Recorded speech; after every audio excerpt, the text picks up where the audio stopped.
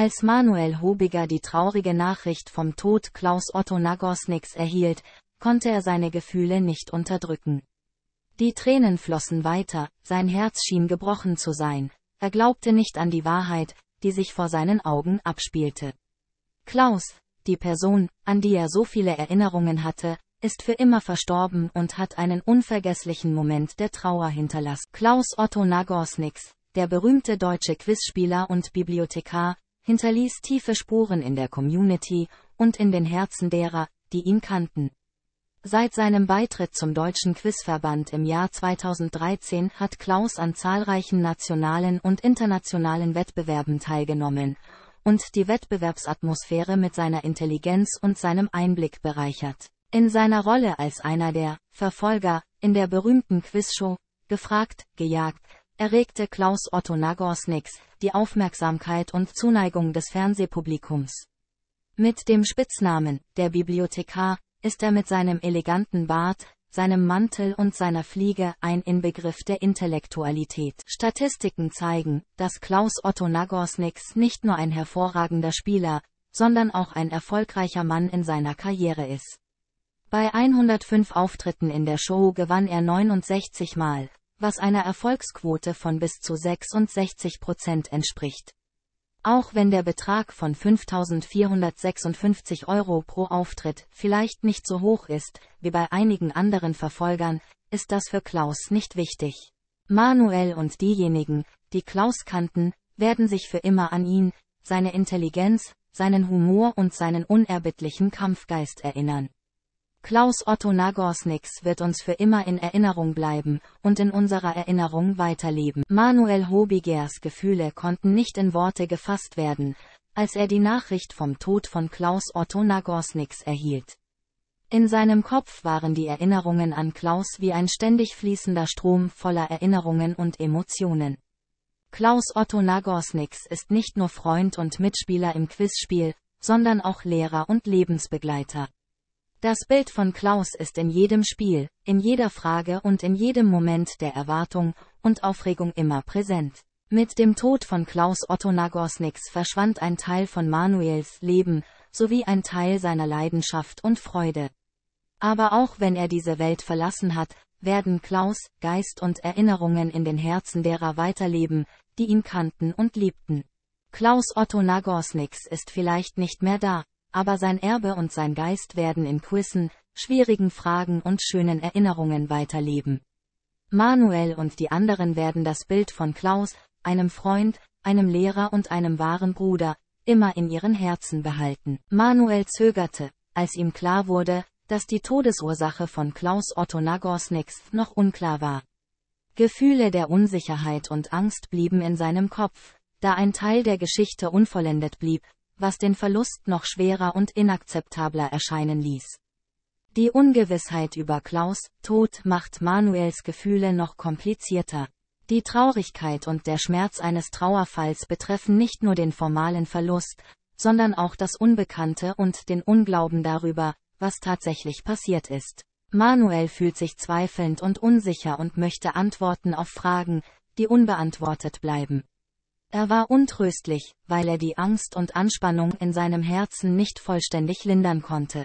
Obwohl Manuel die Todesursache von Klaus nicht genau kannte, beschloss er, die schönen Erinnerungen und Gefühle seines verstorbenen Freundes zu bewahren. Er hofft, dass die Tiefe und Bedeutung von Klaus im Leben eines jeden für immer erhalten bleibt und nie verloren geht, egal wie lange die endgültige Antwort auf sich warten lässt. Manuel ist der Ansicht, dass der Mangel an Antworten zur Todesursache von Klaus Otto Nagosniks die Akzeptanz und Aufklärung schwieriger denn je macht. Jeden Tag, der vergeht, steht er vor einem inneren Kampf zwischen dem Weiterleben und dem Ergreifen von Maßnahmen, um die Wahrheit zu erfahren. In diesen stillen Momenten, in denen Manuel sich an Klaus und die gemeinsam verbrachten Momente erinnerte, verspürte er schmerzhafte Nostalgie. Die Frage beschäftigte ihn immer wieder, warum? Was ist passiert? Trotz der Unsicherheit und der anhaltenden Angst hörte Manuel nie auf, an die Werte und den Geist zu glauben, die Klaus mitbrachte. Er weiß, dass die Freundschaft und die Erinnerungen an Klaus, auch wenn es keine Antwort gibt, immer bleiben werden, eine Quelle der Ermutigung und Kraft für das nächste Leben. Manuel beschließt, dass er nicht aufgeben und nicht aufhören wird, nach Antworten und Gerechtigkeit für Klaus zu suchen. Er weiß, dass trotz der Schwierigkeiten und Herausforderungen des Lebens der Respekt und die Erinnerung an Klaus für immer in den Herzen aller weiterleben werden. Manuels Herz fühlt sich angesichts des Verlusts und der Unsicherheit sehr schwer und unbehaglich an. Jeder Schlag erinnert mich an Klaus, an die unvergesslichen Momente und lustigen Streiche, die sie zusammen verbracht haben. Klaus ist nicht nur ein Freund, sondern auch ein Lehrer, eine Quelle der Ermutigung und des Mitgefühls für Manuels Leben. Auch wenn Klaus nicht mehr da ist, leben seine Freundschaft und sein Geist in Manuels Herzen und Gedanken weiter. Manuel weiß, dass Klaus immer ein untrennbarer Teil seines Lebens sein wird, egal was passiert. Die Erinnerungen an ihn werden weiterleben und ihn in schwierigen und traurigen Zeiten ermutigen.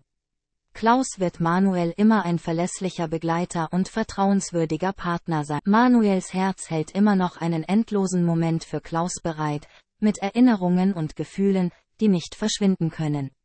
Jeden Tag ist Klaus in Manuels Leben präsent, mit kleinen, aber bedeutungsvollen Gesten, wie dem Betrachten eines Fotos, dem erneuten Lesen von Nachrichten oder dem Erinnern an Gespräche.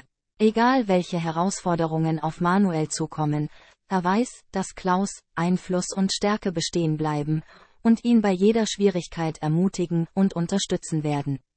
Durch die Beibehaltung der Werte und des Geistes, die Klaus vermittelt hat, kann Manuel seinen Weg weiterhin mit Zuversicht und Glauben gehen. In jedem Atemzug, in jeder Handlung bleibt Klaus ein untrennbarer Teil von Manuels Leben. Er wird für Manuel immer ein Freund, ein Lehrer und eine ständige Inspirationsquelle sein, mit einer ewigen Präsenz in seinem Herzen und Geist. In diesen stillen Momenten, während die Herztrommel rhythmisch schlug, spürte Manuel deutlich die ewige Präsenz von Klaus in jedem Aspekt seines Lebens. Obwohl Klaus nicht mehr da ist, leben seine Freundschaft und sein Einfluss weiter, wie eine Flamme, die immer noch in der Dunkelheit flackert. Voller Dankbarkeit und Respekt beschloss Manuel, Klaus zu einem festen Bestandteil seines täglichen Lebens zu machen. Die Werte, die Sorgfalt und die Leidenschaft, die Klaus vermittelt hat, werden für Manuel immer eine Quelle der Inspiration und Ermutigung sein. Manuel weiß, dass seine spirituelle Präsenz auch ohne Klaus an seiner physischen Seite in seinen Handlungen und Entscheidungen weit erlebt. Jeder Schritt, jede Anstrengung und jeder Erfolg ist eine Möglichkeit, das Andenken an Klaus zu ehren und sein Erbe zu bewahren. Dank der Dankbarkeit und der unerschütterlichen Ermutigung von Klaus wird Manuel weiterhin ein sinnvolles und strahlendes Leben führen und die Werte und den Geist mit sich führen, die er von seinem großartigen Begleiter gelernt hat.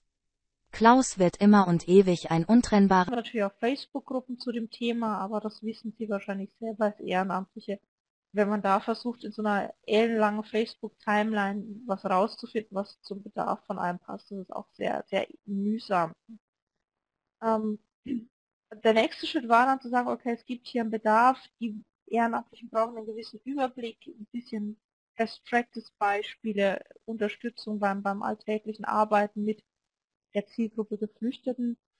Ähm, und dann haben wir auf die Suche gemacht nach Partnern, die mir helfen können, sowas umzusetzen, weil ich weder Experte in Migration äh, noch im Themenbereich Geflüchtete bin oder im, schon gar nicht im Bereich Sprachunterricht. Ich bin Erwachsenenpädagogin, bin sehr allgemein Schwerpunkt auf eben Berufsbildung und Ausbildung, also auf Weiterbildung vor allem. Und bin dann auf die Frau Gürtel gestoßen, die öfter schon die DAF Webcon gemacht hat und habe mich mit der dann sozusagen in Wien mal subversiv getroffen und gesagt, wie schaut es dann aus? Ich habe da ein Problem, hätten Sie eine Idee? Ähm, und natürlich hatte die, die Angelika eine ganze Menge Ideen. Das war ein sehr spannendes erstes Treffen und sozusagen der, der Startpunkt für dieses Projekt. Wir haben dann zusammen eine Art Projektantrag geschrieben, den hier in der Stiftung eingereicht, der ist bewilligt worden. Und dann sind wir, glaube ich, im November 2016 sowas losgelaufen mit der Produktion der ersten Inhalte und sind jetzt heute äh, an dem Punkt, wo wir jetzt sind, ähm, sodass diese Sprach Sprachbegleitung einfach machen, bis sie abgeschlossen ist, was mich total freut. Vor allem auch, dass das sehr positive Nutzerfeedback, äh, was zeigt, dass wir genau das getroffen haben, was gebraucht wurde. sicher könnte man noch mehr machen, ähm, aber das Projekt, wie wir es gemacht haben, ist jetzt leider dann auch zu Ende. Und wir würden uns natürlich sehr freuen, wenn andere Projekte oder so da noch Sachen beitragen.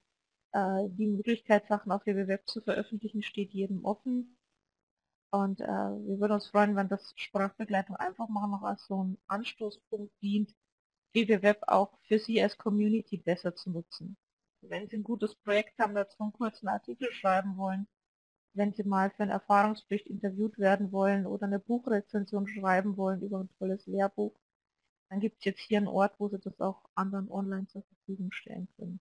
Und da würden wir uns sehr freuen und dann wird es auch in einer gewissen Weise weiterleben. Es ist natürlich jetzt sozusagen für die nächsten fünf bis zehn Jahre auf jeden Fall online und wahrscheinlich auch darüber hinaus. Und dann möchte ich einfach nochmal herzlich bedanken bei Angelika äh, für die für die tolle Mitarbeit an dem Projekt, für die tollen Konzepte, die du auch entwickelt hast mit Ehrenamtlichen. Und ganz großer Dank auch an das DEE, die eben uns WWF für so ein Sonderprojekt auch zur Verfügung gestellt haben. Sonst hätten wir da keinen passenden Ort online gefunden und die Redaktion bei WWF, die auch ganz viel Arbeit in die Veröffentlichung der Inhalte gesteckt hat. Ähm, vor allem die Susanne Witt, aber auch Regina Kahle und die anderen im Team. Genau, und damit sozusagen zum, zum Hintergrund, wie kam es zu diesem Projekt, wie haben wir uns gefunden und warum sind wir jetzt hier. Genau, und dann übergebe ich an Angelika. Ja, ich hoffe, es funktioniert auch und ich bin zu hören. Ja, gut. Herzlichen, herzlichen Dank, äh, Monika. Ähm, aber ich muss den Dank natürlich an viele, viele andere weitergeben. Äh, so ein Projekt funktioniert nicht mit einem alleine oder mit einer alleine. Ich möchte ganz kurz äh, auf die Ziele des Projektes kommen. Also eine der Hauptmitarbeiterinnen ist die Lotte